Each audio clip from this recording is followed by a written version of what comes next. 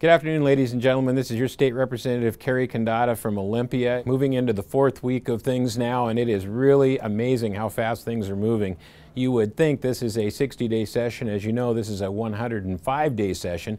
Some people think it's going to get a lot longer, but frankly, uh, with the uh, events that have happened in the past week, I believe we can do this in 105 days. I want to start with a really interesting historical event that happened on Friday. There was a situation last week where one of our senators, and remember the mix in the Senate is 25 to 24, one seat majority for the Republicans. Well, one of those Republican senators joined the Trump administration and resigned from his job, making it technically a 24 24 situation in the Senate.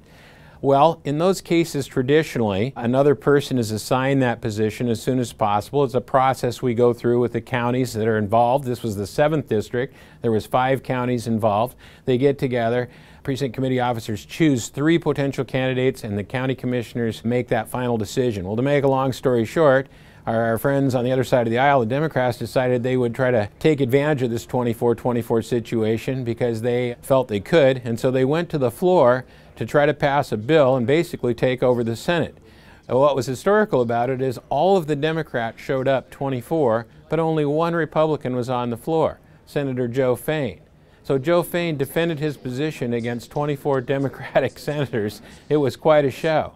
And the fact was that the decision maker, the person that splits the difference, is the new Lieutenant Governor, Cyrus Habib, who stood up front during this and listened to both sides of the argument.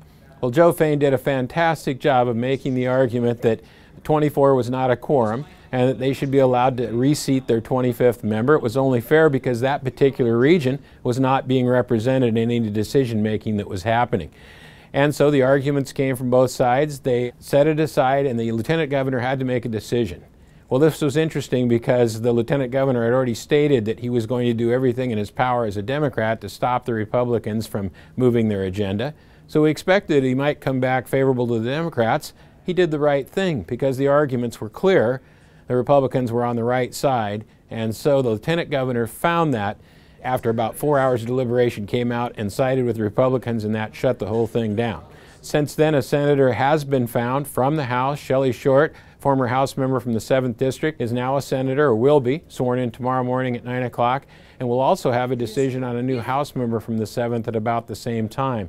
So that creates a ripple effect. And since uh, Shelly Short was part of our leadership team, we have to go back to reorg in the middle of the session and assign new leadership positions. This is never easy. It's never something we want to do, but this is what happens when you get this effect. We'll get it all done this week and things hopefully will get back to normal. The good news is the Senate did introduce their new education funding program and it's pretty spectacular. It's a complete change from what we've done in the past. It's simpler, it's more forward thinking, it's more balanced.